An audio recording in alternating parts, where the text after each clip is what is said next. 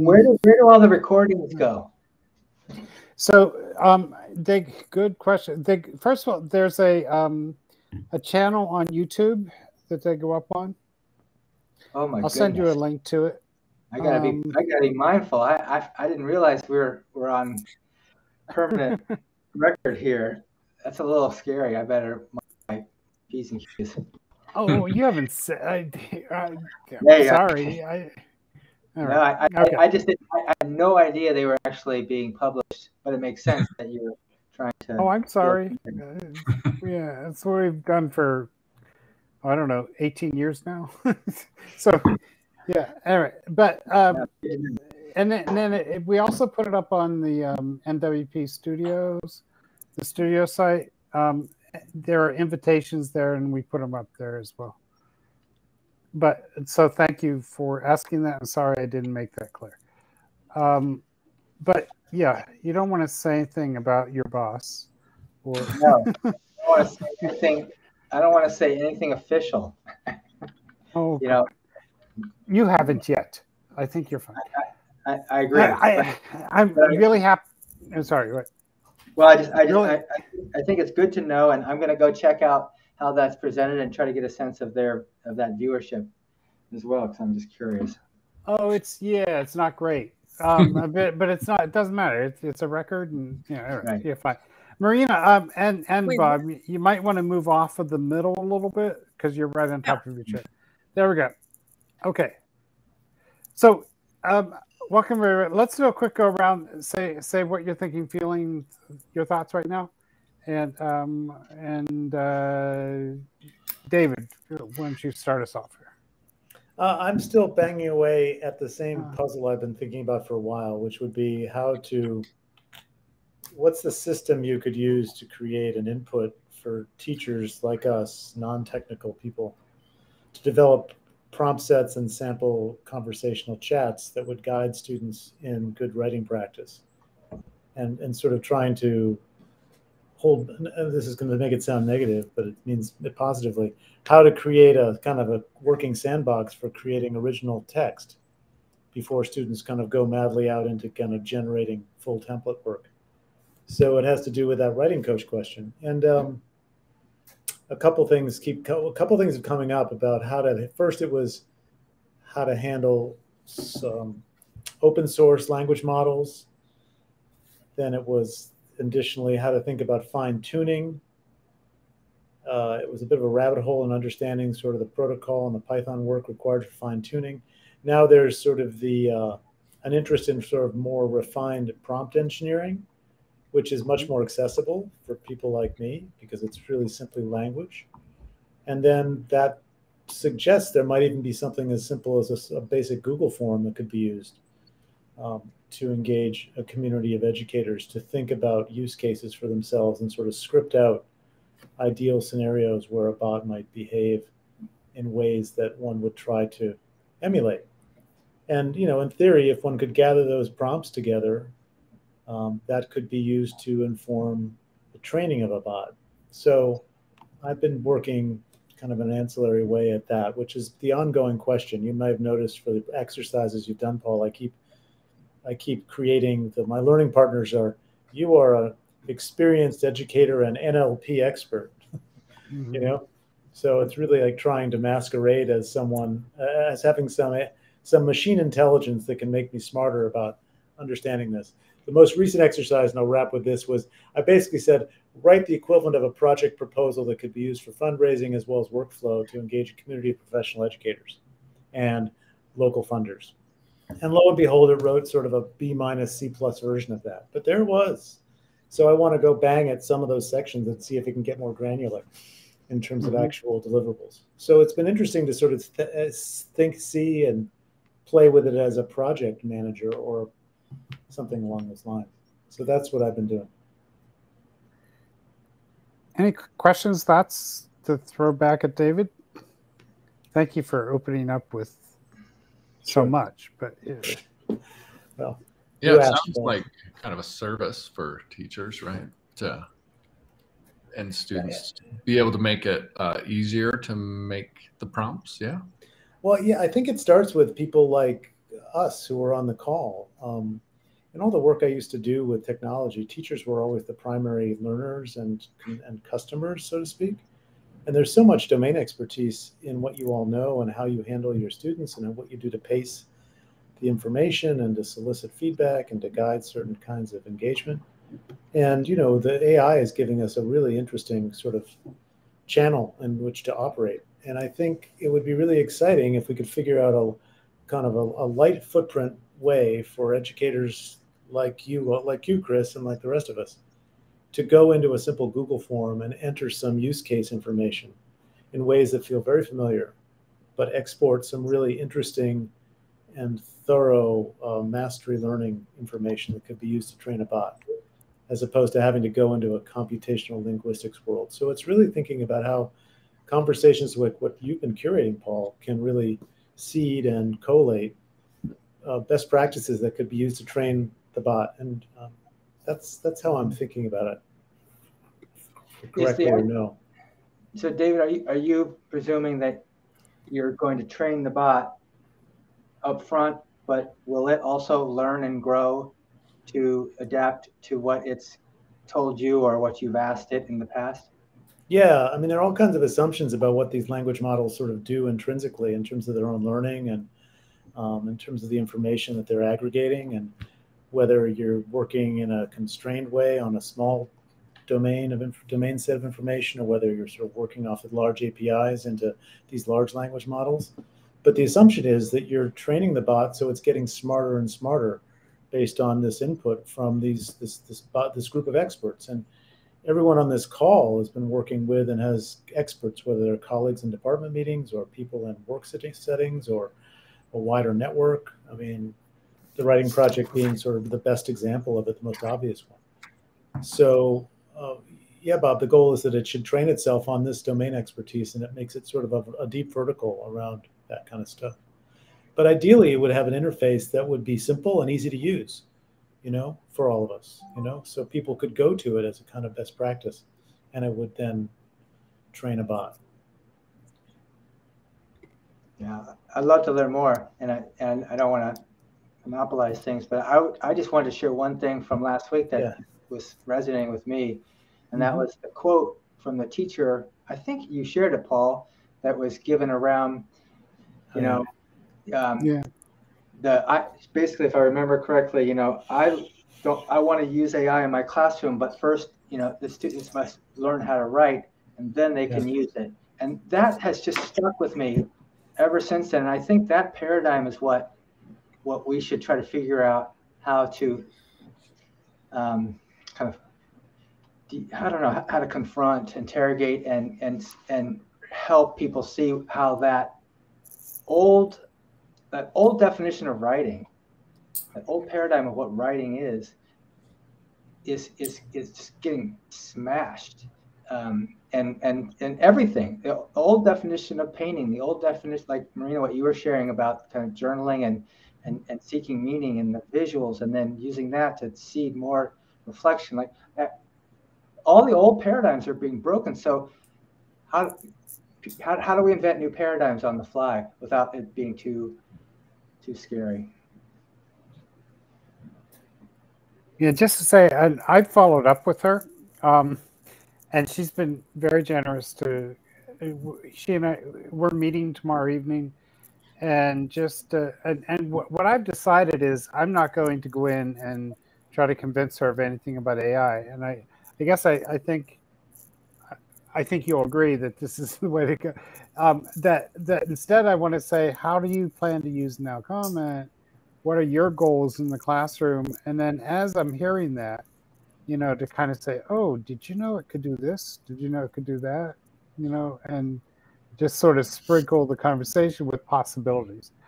Um, but I'm not sure, you know, like, so uh, whereas, uh, in other words, I don't think we want to get into a debate with somebody who comes to the table like that. But I also think there are ways to kind of suggest new, like you're saying, things are changing. Um, so I, I assume that, yeah. that perspective is, is very common, if not the mm-hmm. dominant paradigm of most educators around AI. It's like I don't I don't want it to really change. I want to use it, but I don't really, really want it to change the way I teach or the way um, the way students learn. It's just it's another tool, but nothing's you know that's I just assume that's the, what do you guys think? Does that feel like the dominant paradigm still?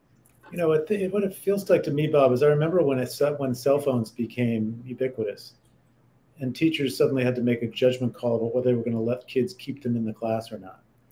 And you know, by and large, people realized they needed to let them keep them. You know, and that the creative ones found ways to sort of have them be put in a box and then opened up, or even better, used in the learning. Which is to say that some amount of that seat time, to use that word, was given over to managing that technology because it was not going away.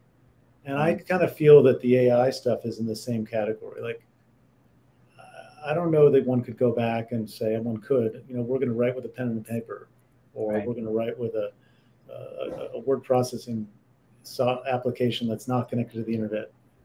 And uh, then we're going to go, you know, so I, I think that's, so I, I look at it as like, sadly, to, you raised this question before, like, and it'll be interesting, Paul, to hear what your colleague has to say as she teases out her own thinking. But mm-hmm. it seems inevitable that teachers are going to sort of need to front load their engagement in writing with this tool in hand because it's an act. It actively creates.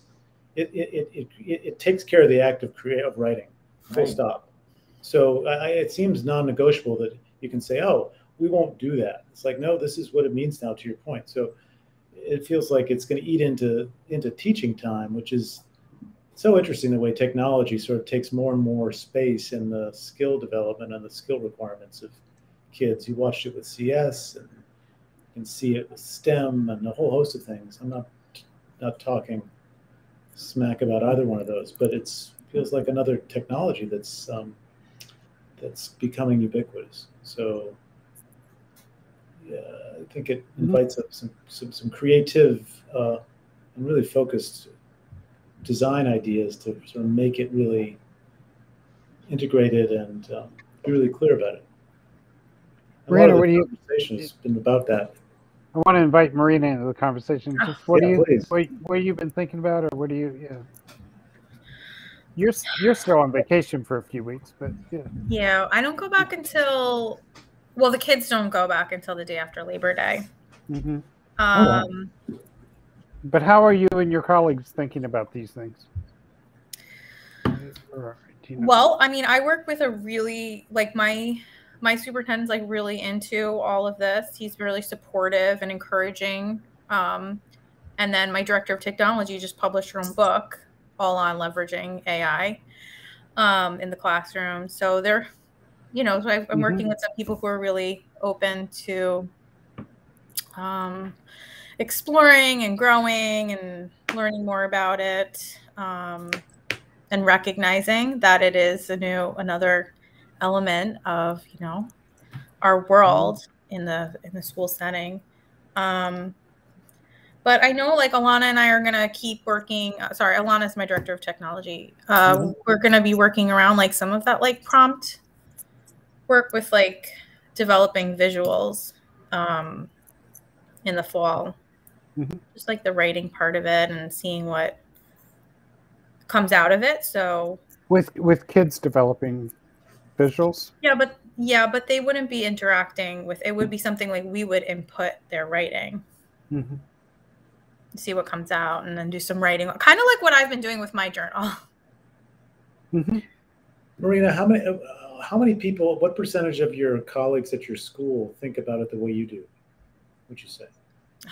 Um, I think there's a handful of people that are really intrigued by it, like me. So, yeah. um, and our, and and we're definitely tinkering around with it this past year, um, since it became available in November. Yeah. The director of technology did get. She gave a, uh, I guess it was you know one of our faculty presentations and people were pretty quiet. They didn't really have much to say. Sometimes that just happens in faculty meetings. Sometimes you want to get at like the after school thing. Um, but I did have one colleague say something to me at the end of the year because we're um, we are starting a new uh, science program for our students this year that they had done in the middle school, the FOSS program, uh, if anyone's familiar with it. And um, I was really excited because I had experience using it in the New York City public schools. And I was talking with this science educator who's our middle school teacher. And he, I said, like, you know, are, we're going to be prioritizing science time then too, as well? So we're getting this new like curriculum and, and he, he I said like I said to him, I was like, kids need more science. They need more of this. They need more of this. And he said he said some kind of like, what do they need more of that with now with ChatGPT? And it was it was definitely like sarcastic. And I you know I didn't know how to take it, but um, sure. I didn't know how to respond to it because I was kind of like I guess I'm on the mindset of in the middle of of it. You know, like I'm not one way or the other. I can I can see different spaces um, where I may want to you know, kind of toy with it. And some places where I, I don't want it. And Paul knows because I've told him some things where I'm like, no, I don't, I'm not going to use it for that. Right. Mm-hmm. mm-hmm. Chris, what's it been like for you? You're, you're, you've started, you were describing right before we started recording that your students are coming in slowly 10 minutes, 15 minutes a day kind of thing. Yeah, yeah. So we're doing half days. This is our first week, so we just finished day three today. Um, and so we the classes are really short like 15 minutes and then 20 minutes but you know there'll be 20 minutes through the rest of the week so it doesn't give you a lot of time so i have not done really any digital stuff in my english class we've actually used um, like i keep a journal like a handwritten journal uh, and they will uh, keep a handwritten journal too and the first thing I had them do was write a handwritten letter to me. So it's uh, you know been a lot of just uh, pen on paper.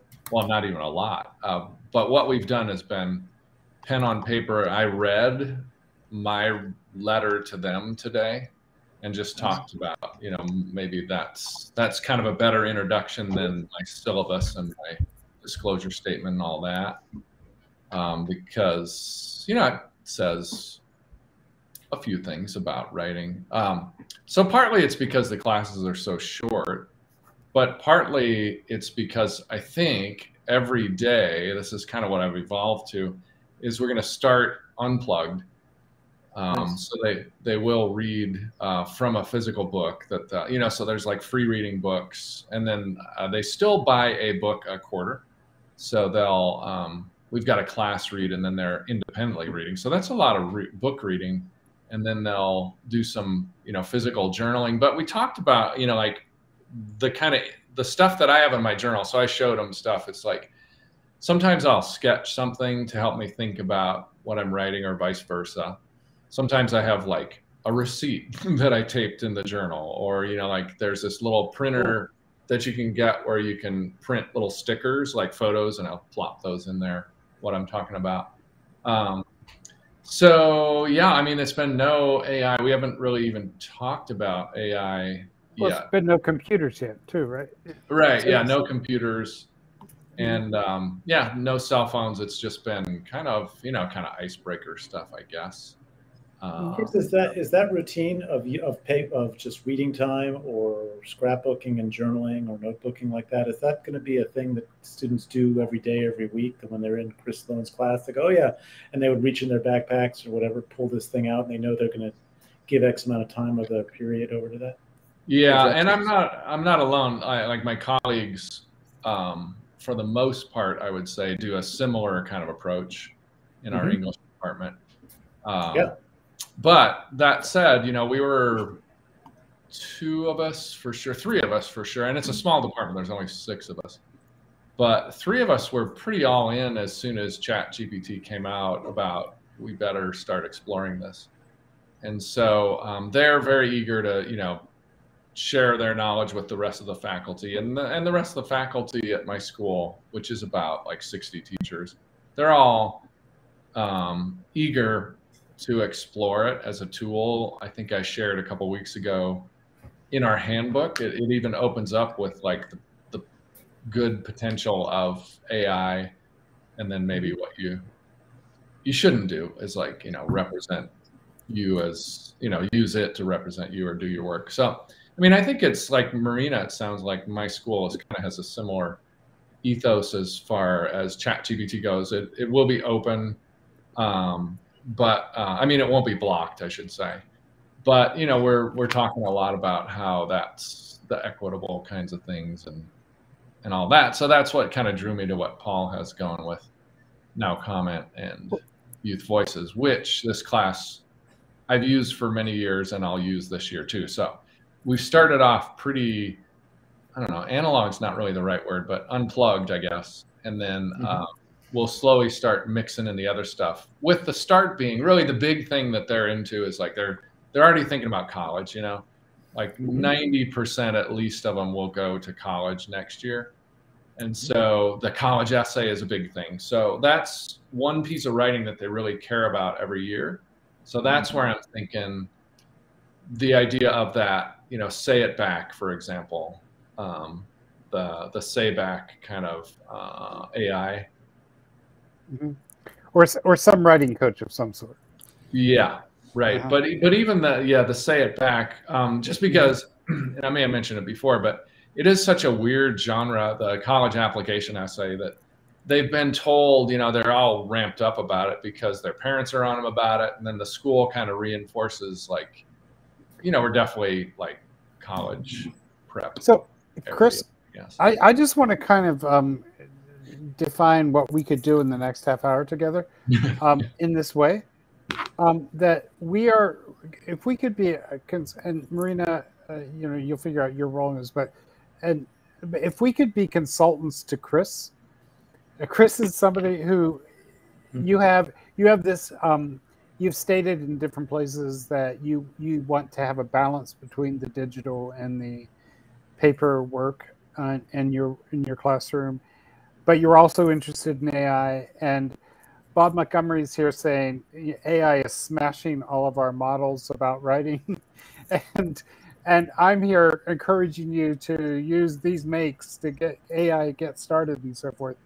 I, so if and David has his anyway, if we could be like consultants to Chris uh, as an example, kind of here of how we would talk to a teacher about where AI begins, how how he starts to think about it. Not that you haven't already, Chris. Is that fair? Could we do that? Good to so, me. So, who would what would you say to Chris about? He just introduced how he's starting his class he wants to get started with AI somehow. He's familiar with NowComment Youth Voices, but they haven't used AI, AI much. What would you say to Chris? Well, I wanted to put this in group chat, but I don't know how to access a group chat. But I was oh. just looking at Chris. Go ahead. Yeah, Chris's um, responsible use document, which I love, and the Michigan State, and really appreciate everything you shared, Chris, on that front. But there's a statement in the plagiarism clause that I, I, I read just now. I was wondering, well, how, what, why? And the statement is, is it, it is a student's responsibility to ensure their work is original and appropriately cited per the conventions of a specific class. Like, that makes sense to me, but I just I kind of wonder, like, okay, what is original? And that, this is where I get to, and, and why, what, like, that's why I get confused because it feels like the paradigm's breaking, but we're still trying to hold on to it by, by saying, by defining originality in an old way when we've got this new possibility that actually, as you said, David, you're not, I mean, the author is a, is a collaboration with I don't, you know, how do you define the author, you know, at this point? So I, I guess, Chris, I'm just wondering if you've how people are going to how how are you going to implement that policy at school and right question i mean the whole citation thing i think was that part of it you know that's written by someone who probably hasn't been composing a lot with ai i'm guessing because mm-hmm. i don't really know how you cite um, that I, that's another question but i think the originality part is is interesting it's like on the one hand you don't want kids just hitting some uh, generate and then copying and pasting and putting that in as their own work. And so like that's definitely not original. That's but, that, um, we agree I, on that. What's that? I said we agree. I think we all agree that that that would be a very bad use of AI. Mm-hmm. Sure. Yeah. And so I think then um, let's think about how we come up with our writing now or before that, you know. A lot of times we'd have kids get together and they would read a draft to someone and they'd get feedback from their partners. Then they'd go do some reading and they'd maybe some, cite some sources there. Um, but you know, the the talking part from their peers was never cited. You right. know, like I got a great idea by talking to my brother um, about this thing, but you know, that whole conversation was never cited, and and yet it's still original. You know, and so yeah, the originality thing is a bit of a stickler, but I still think that if you use AI as a thinking partner, it's still original. It's just I'm not saying generate that thing for me, uh, even large parts of it. Um, so uh, yeah, I mean that's kind of a pretty rough uh, take there, but um, the te- the teacher Bob that you were quoting earlier, she's from Houston. I'll just say the Houston teacher. The Houston teacher wants analysis, right? So mm-hmm. what what I, what I want to try to say both to Chris, go through the originality question and the analysis question is, we now have tools that your students can use to be more original and more do better analysis than they've had before. I'm not sure that's true. Yeah, I think it is. Well, yeah. just to play devil's advocate, you know, let's mm-hmm. say, um, let's do the um, like argumentative writing. Let's say, and I want a real common problem well, I why, have. With, why don't you why don't you stay with the college essay? The the college. If, if, if okay, the yeah. college essay, sure. Yeah. Um, so you know, I mean, that's based on their you can mm-hmm. imagine those typical things like who's someone who's influenced you or what's um, a way that you've shown that you're a leader or those kinds of things. Uh, those those are things from their life okay? And so i could write something and then do the say back writing coach mm-hmm. who says you know tell me what i just said. And then if i hear that back just like if i read it to someone another human and the human i said hey could you just paraphrase what i said? Whether it's the AI or the human, it's still the same process of like, here's what I'm hearing you say. And then me as writer, I'm like, oh, wait, that's not quite what I got across. To me, those are pretty similar things that are going on. One is just machine generated, and the other is like my peer in the classroom. And so I'm not so sure that's fundamentally different. Um, I'll just put that out you know, one thing that strikes me, and I keep coming, I'm realizing that as I'm listening to what you guys are saying, I keep coming back to this in my own research and my own noodling around is that I keep wanting to come up with a format or a template that would document my own thinking as I'm engaging with these tools. Mm-hmm. And, uh, you know, Chris, your point is, yeah, when I talk to my brother or I was out talking to my friend or I watched this video or whatever, and it gave me an idea, we just sort of absorb it and then we kind of come back and we kind of reshape it. But this stuff provides you know transcript of, of that right? And and it, it sort of begs the question how what do you do with that? Like are you going to just cut and paste it? No but can you comment on the way you're absorbing it and in, in so doing describe your own learning process? And you'll learn something new in that in that. And it reminds me a lot of watching what kids would do when they would go when they would go and they would maintain a portfolio through the year. And maybe just to pick up on what you were suggesting chris or what you were talking about with the notebook or the the pen to paper or the scrapbooking like if that persists through a semester that's going to be a wonderful document and in a typical sort of portfolio presentation moment the learner would pick out pieces they like and say why they like them as a capstone exercise. And that whole time span with things that we, the reflection happening at the end now gets totally compressed and it's almost happening iteratively in real time but the question is if, if that's part of the thinking process is there a light way that kids can comment on their own thinking development in relation to the tool if one's going to use the tool?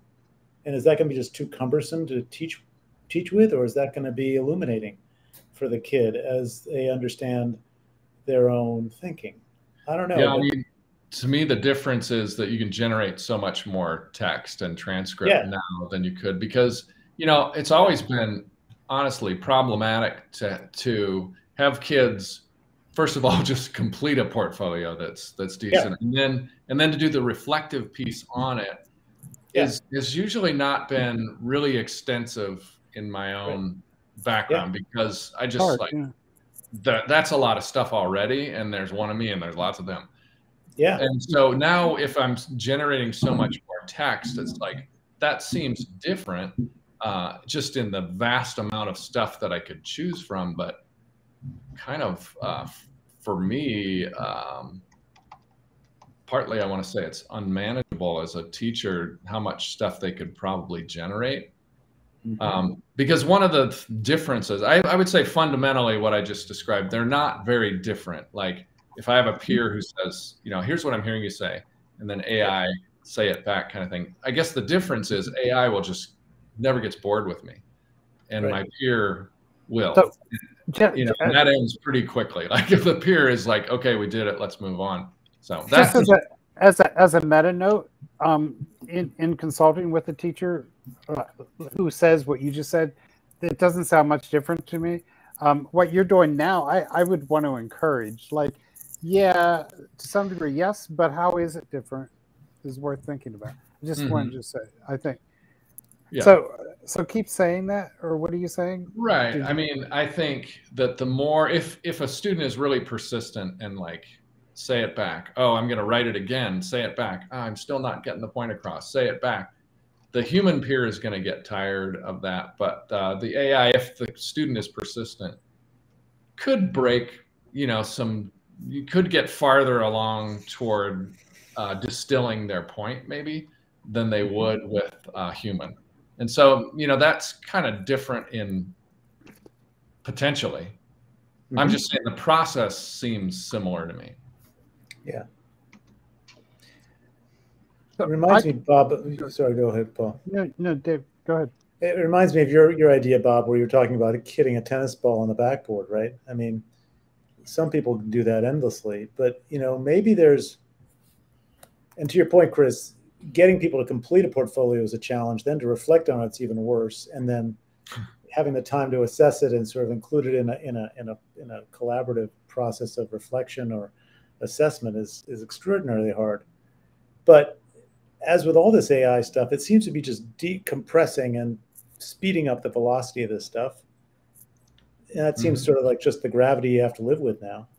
And I wonder if there aren't moments in your learning arc, whatever it might be, or the you know, where there might be mo- a pull-out moment. We used to, uh, the term I used to use in curriculum was push-in units or something, right? It was sort of supplemental to the material where someone would take a, take a moment of their thinking over some period of time and do the iterations you're describing and generate some kind of summary document for themselves, which perhaps would re- reflect the iterations that are happening with the machine or on their own, but in a light way, try to get at that. Uh, it feels like it could be sort of rote, busy work, but at the same time, it, it, it's it is an acknowledgement of what you were saying, Bob, which is that the nature of text creation has changed, and if one's going to use AI, one's going to be operating in a different modality. What are the ways we could we could maybe document that without screwing up a teacher's life and a kid's routine, but have it be very much visible in the workflow and in the engagement. Document what? Document their thinking. Like if if there are 10 assignments and 10, 10, 10 learning moments in a in a quarter, uh, every third one is going to involve something like what Chris just described. So the kid and the teacher aren't burdened with this concatenated exercise of formative assessment and reflection all the way through the year. But there are moments when there's a small kind of culmination where you actually reflect in this way and document it with the transcripts, plural. And that becomes part of the artifact. I'm just trying to think of that because so much stuff is getting generated. So, but yeah, I mean, I keep feeling like um, I want to say, hey, isn't isn't the what we've been developing around the um, NowComment's dialogue journal part of the mm-hmm. answer to some of this? Yes. And Chris, Chris, you've it done is. you've done some uh, you've done a couple of weeks of that. Mm-hmm. Do you think do you imagine you could bring that process to your students pretty quickly so that there is a place where they could start recording their experience with AI as they're using it. You know, you you mentioned the word quickly. I yeah, don't. Well, I don't think, know when. Yeah, yeah, yeah. I don't think it's going to be quick um, okay. because I see it as a pretty gradual kind of uh, uh, introduction. You know, that's a lot to think about uh, for uh, these kids. I think like almost all of them are pretty familiar with generating ChatGPT, and they, you know, they they uh, are pretty. They know how to you know write an essay that's you know what's the cause of the Civil War. If you give them that task, I think they know how to use ChatGPT to put something out. Right. Um, but um, you know, the part about slowly introducing them to the idea of even buying into AI as like a thinking partner is going to take some time to have people buy into that, I think. Um, without, you know, I, I think, I just think it's going to take a little bit of time. So once we get that and we try it a few times, which I think I can do in this first sequence on the college essay thing, I think we can, you know, play okay. with that. Um, that's a pretty big step right there. Could they capture that? Could they write some of that? Yeah, they could do that in a in a you know AI kind of diary. Well, but but they could just put up they could put put their essays up as NowComment documents, and then they have AI to use next to it if they want yeah, to. But they, okay, I'm talking about the college essay, which is a really yeah.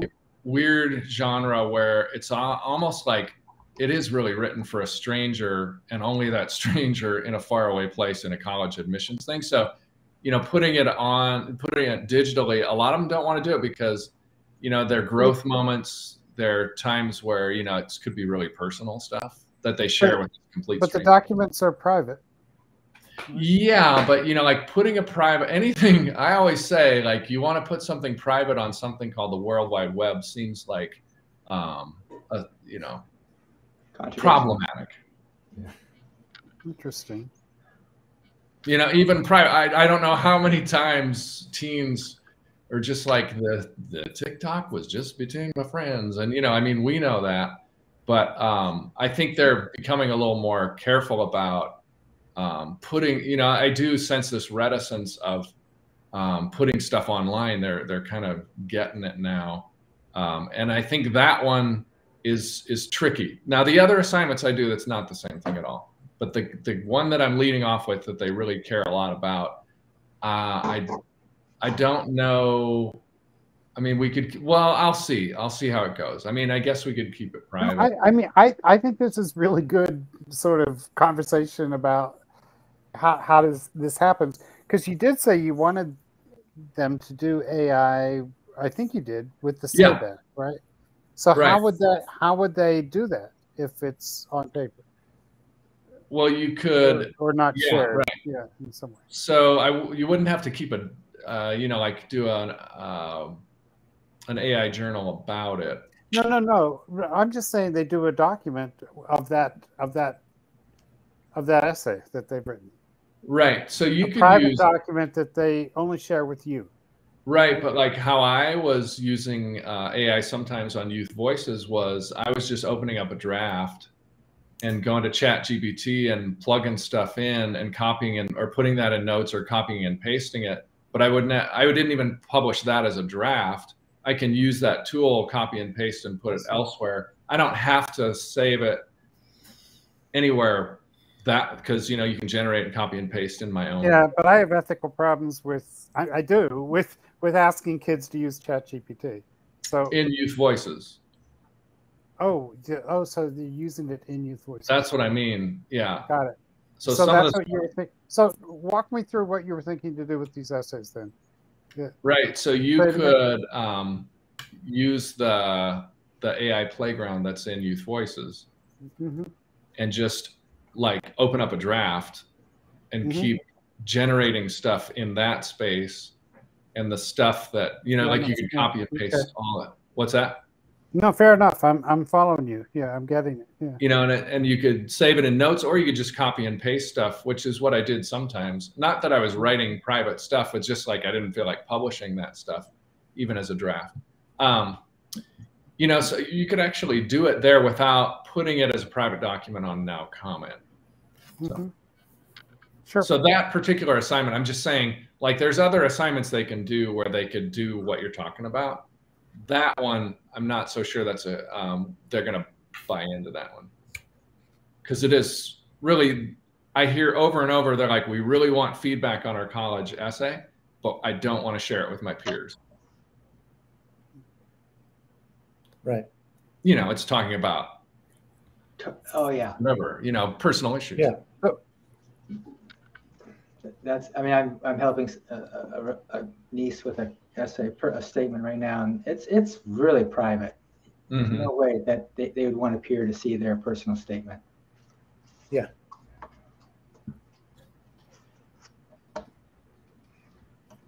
so you think you could use youth voices in, in a way that would preserve that privacy? I think Chris? so because you're not ever gonna. Uh, I think there's an option there to not, um, you know, To not publish, yeah. Yeah. Is, is that what you mean? Yeah. it just goes away. Like if you X out of that, it's like it's not saved as far as I can tell. Okay. But where do they keep the work then? They, I feel like they would think that their Google Docs are more secure because that's probably where their original they're thing. not. What's that? They're not though. Well, But I, that's where I would say the majority of my kids' things are in their, you know, Google Docs. Okay. And I understand that's that's an issue, but no, no, that's I, I'm I'm hearing you. Yeah, I'm trying to. Yeah. So Google Docs feels like a private place for them to work. yes, I think they Mm-hmm. would. That's as private as it's gonna get. I think they would. I think they believe that. Yeah. Mhm. Now, okay, that's a separate conversation, but I would say that's that's their No, belief. no, I no, agree. And, but I mean, Google Docs is going to quickly become, well, not quickly, but it, it's eventually going to, it's going to morph into what you're doing with NowComment soon, Paul, right? Because it's got, I think so, and also I don't, you know, I think the privacy controls there are no different yeah, I mean, I think than, this than is they are NowComment. So you know. Yeah.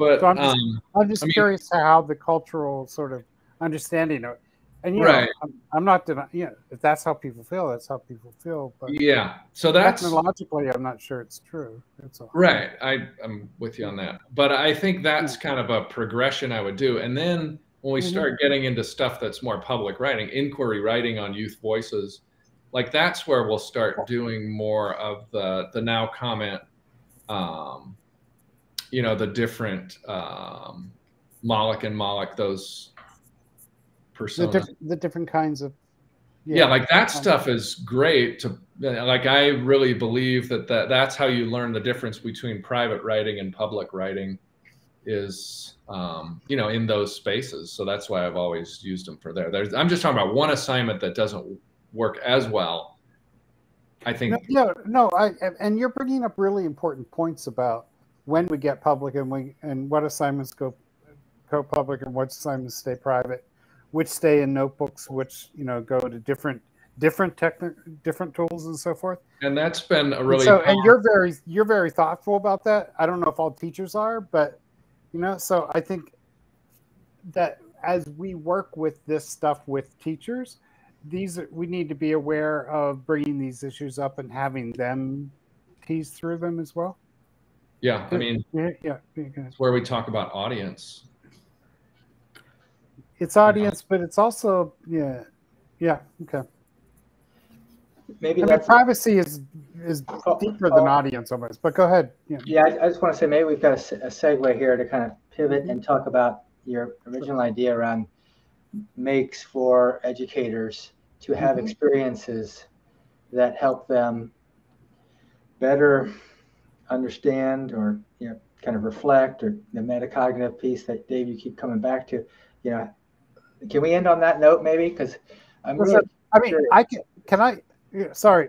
So yeah, on the table behind you there or whatever, th- there's some notion that there would be three makes. One is right to, to just to, um, and I'm using David's notion of here we're setting up our workspace.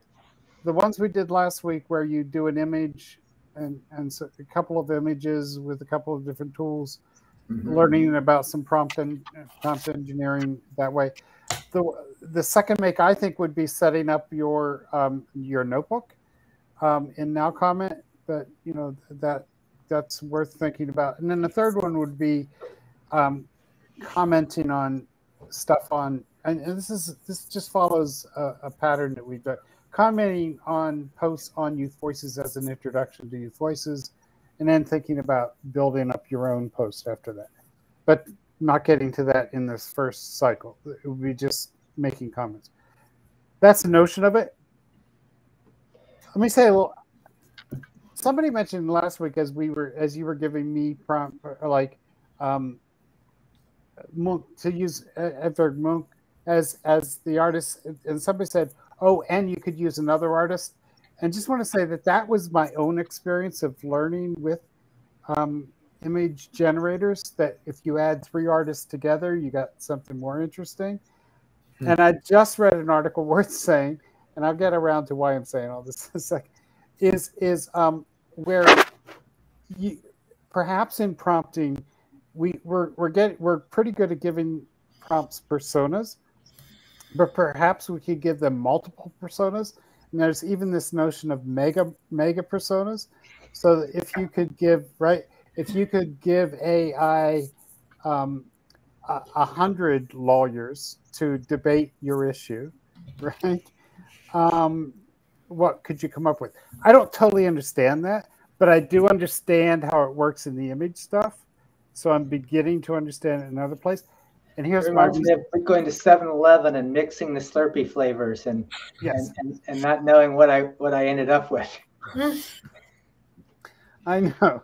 So here's my point of, of going down down that down that rabbit hole for a second. Um, I want to see. I, I I think, and Bob, I think you said get teachers doing this. I want to see people take finding their own their own exploration that way, like so that they can go back and say, "Oh, I did that with the image stuff. I could do that with the text stuff too." Wouldn't that be interesting if I mix this and this? Is, so that so that there's a creative process that you're doing, right. and then and then you'll know what to bring it back to the classroom.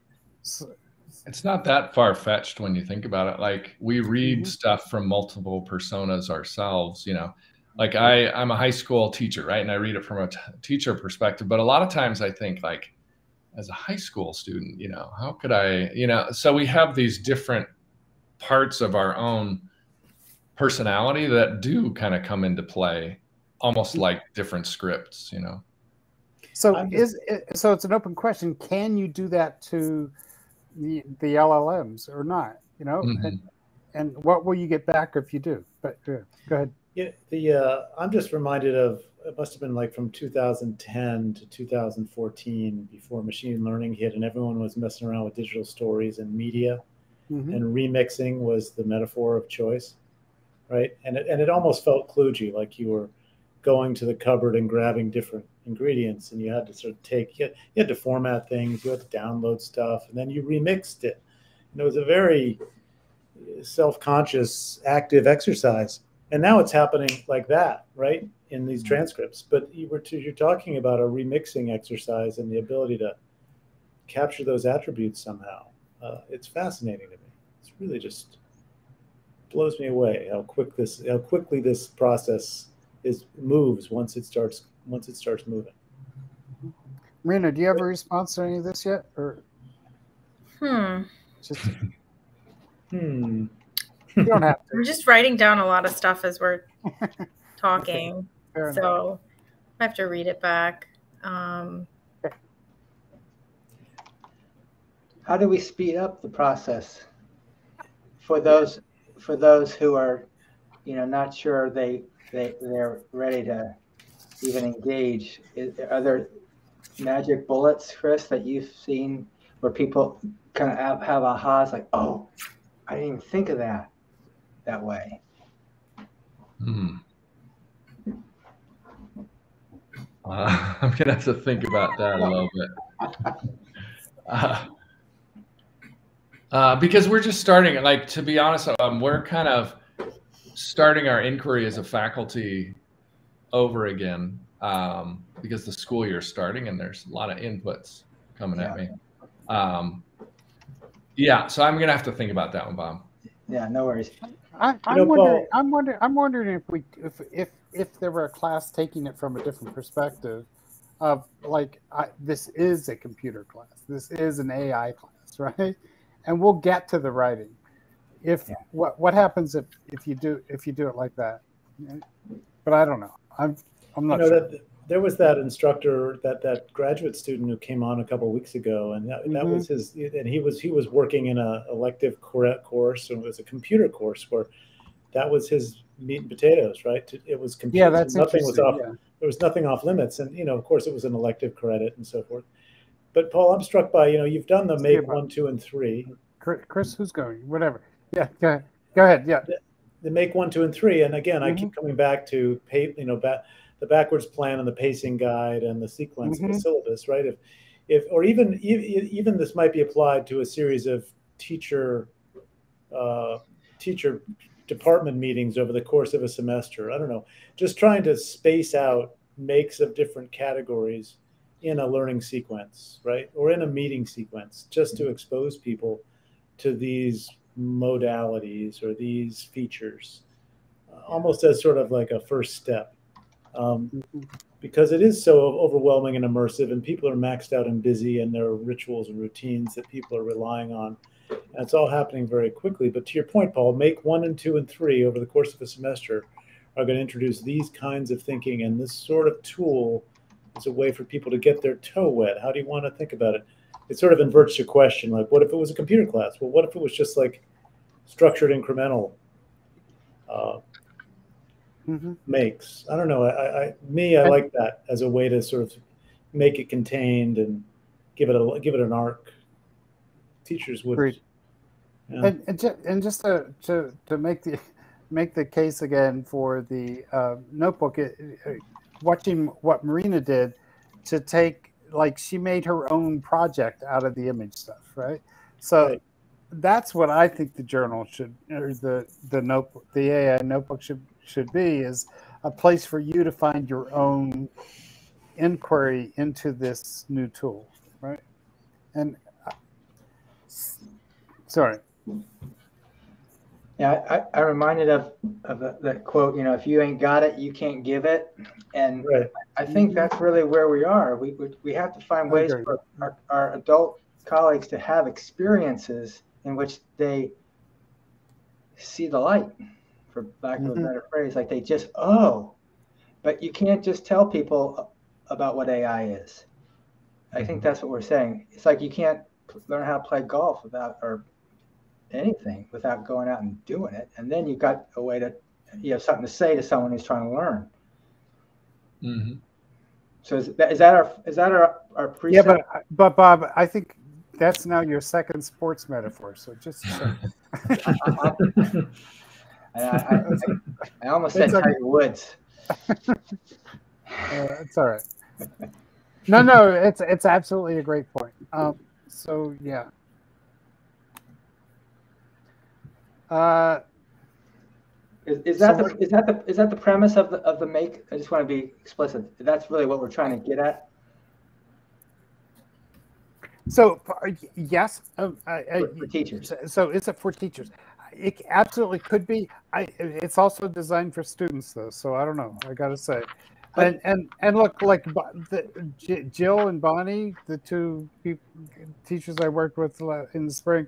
Jill is like, so in another way, it's about taking stuff we've done before, we know how to do well. Like we know how to do notebooks, we know how to do journaling, right? And trying to to to put AI into it. So the makes are about what do we know well, and and how can we how can we investigate how AI can change that up for us and and and notice that, right? So so yeah, I think that could happen with students if you're ready to. Um, but uh, you know. So, Chris, what are you going to do this week with them? well, um, I only have one class left because we're only going half days. I mean, half. next the next week you have, yeah, yeah. Uh, they did some summer reading, and mm. um, and the, we're going to be reading kind of memoirs, and so that's kind of tied into this big deal that they have this application essay. Um, so that's kind of where we're headed over the next week or so. We'll use Stephen King's On Writing as kind of a textbook too, because he gives a lot of advice on writing, but he also mm-hmm. tells a good story. So we'll be using master sentences, you know, looking at really good sentences from memoirs, different people's stuff, and you know, analyzing them and um, maybe trying to do some of that stuff, you know, mentor sentence kind of things. Yeah. Cool, cool. So the challenge I have for you is to come back to us with, can you imagine AI in any of that? Yes. Does, yes. I can. I know you can. Cool. Uh, thank you all. Uh, and we'll check in next week. Uh, anybody have any other thoughts they want to jump on before we leave? Thanks for hosting as usual. Paul. Yeah. Okay. Good stuff, everybody. Have a good All night. Okay. Talk to you all soon. Okay. Good night. Bye. Bye.